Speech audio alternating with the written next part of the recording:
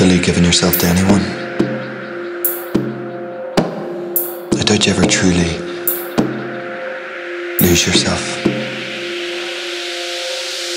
The thoughts, the feelings that I experience.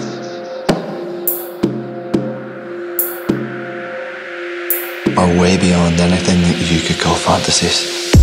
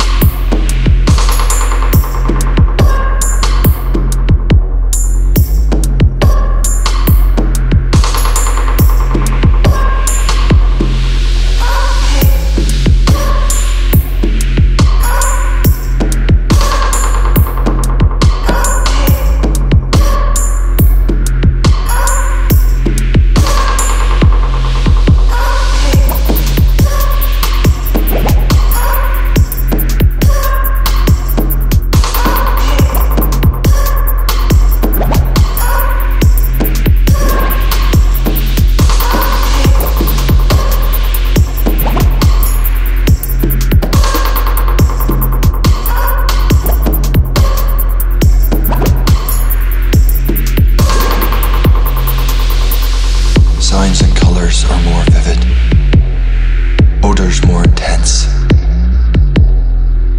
My skin becomes sensitive to even the slightest of pressure. The outside world means nothing, only the interior world is real. It is utterly compelling, compulsive. Nothing can pull you back from the edge. Not laws or threats of punishment morality, religion, fear of death. All of those things are as meaningless as the life that you're about to extinguish.